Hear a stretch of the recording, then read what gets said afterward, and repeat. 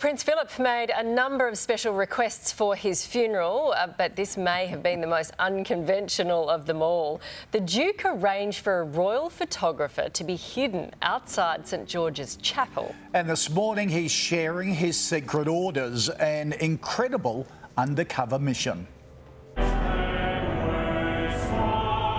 He wanted a no fuss funeral and told his family to just get on with it.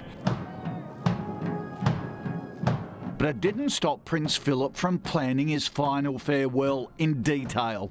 From his favourite riding carriage to his bespoke Land Rover, it was full of personal touches and a last laugh. I am joined by royal photographer Arthur Edwards, who was taking photos, of course, but from a very unusual location. The Duke decided he wanted a photographer to be hidden inside a fake pillar at the top of the stairs leading into St George's Chapel.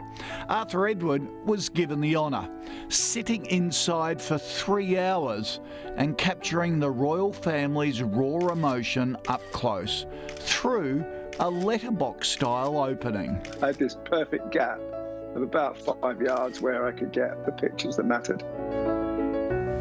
And Arthur Edwards joins us now. Wow.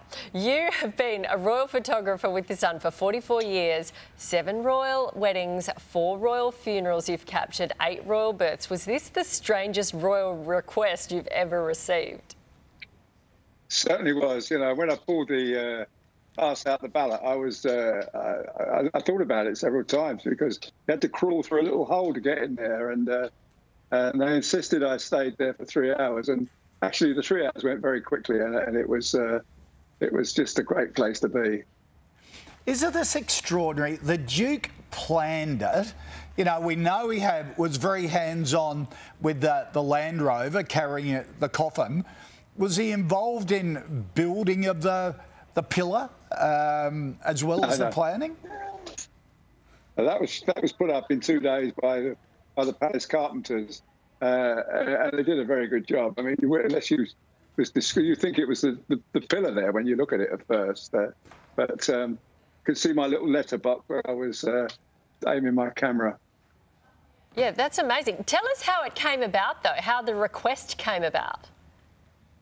Well, we uh, we have to ballot for these positions, and uh, I got this one, and I, and I couldn't believe it. Uh, it's uh, it's the best one of all. It's where you got the actual uh, the Marines carrying their uh, Captain General up the steps for the for the last his last journey, and it was a it was a it was it was a terrific position to have, and I felt very proud to do it. You know, and and, and seeing the, the royals, the princes walking in afterwards, and Prince Charles was absolutely broken-hearted, and uh, that was the sad thing about it all. But you know, the military, the pomp, the, the service, the way it all went like clockwork. The Marines never flinched, carrying that heavy casket up the uh, up the stairs. There, it was it was just it was just great to be there. I was I was literally emotionally drained when I come out of there. I, I just thought it was a an amazing experience. Oh, I bet you were.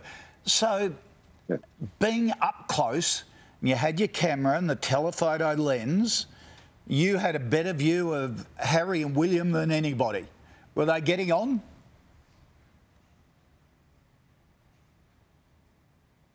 Oh.